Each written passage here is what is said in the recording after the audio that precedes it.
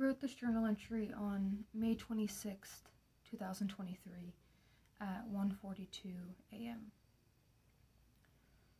I feel that it has been a while since I've written about something sad in here. That is a good thing, so there's no complaints there. But tonight I feel a bit sad.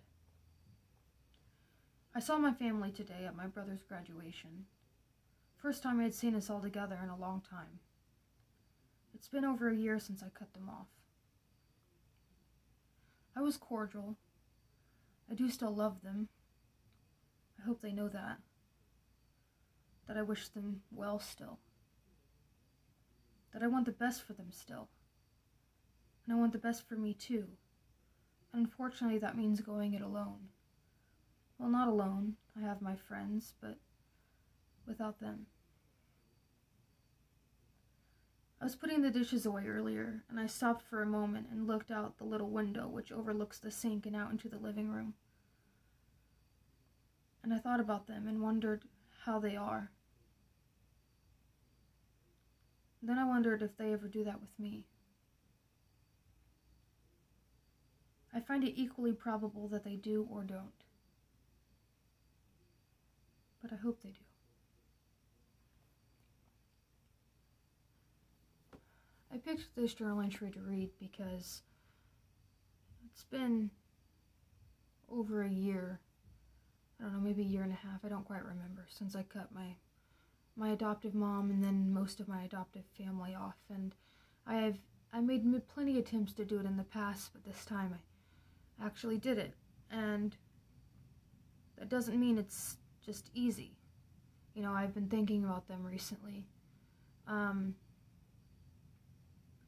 I was having a conversation with someone today, though. And we talked about this meme that people share. Or like there's just posts that people share where about choosing your hard. You know, whether it be marriage or divorce or being single or having kids or not having kids. And, you know, she was explaining to me how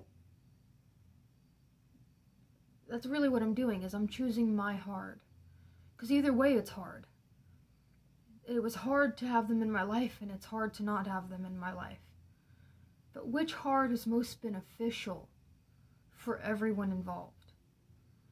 Which hard is most beneficial for myself? Because I'm of the belief that what's actually genuinely best for one person is what's best for the world, and, and vice versa.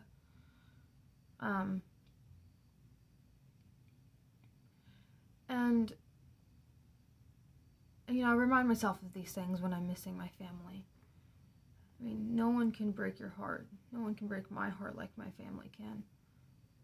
I've been through a lot of heartbreaks in my life, but none like the way they did it. And um, it just it's it's reminding yourself that people will choose to be blind, and sometimes people hurt you too fundamentally to be able to have them in my life. But that doesn't mean not forgiving. You know, it doesn't mean not loving.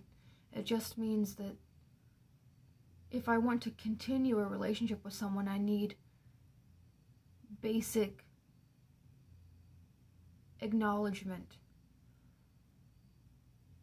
of something that is true, you know, and um and that goes into deeper things about my life, but this could be a, applied to anybody where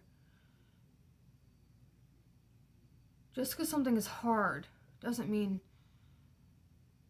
it would have been easier the other way. You know, this is just hard in a different way than having them in my life was. And the hardest part about doing this is that I love them. If I hated them, this would be a lot easier. It's because I love them that not talking to them is hard. But I also love myself, and if I truly loved them and wanted the best for the world, I would do what's best. And I don't think it's right to enable people to treat me that way. But, um, my point is that it's a lot like choosing not to go back to an addiction. You know, it's hard either way, but which one is more beneficial for you? But I do hope they think about me. And I hope when they do, they think about me fondly. Because I have plenty of reasons not to think about them fondly, but I still do.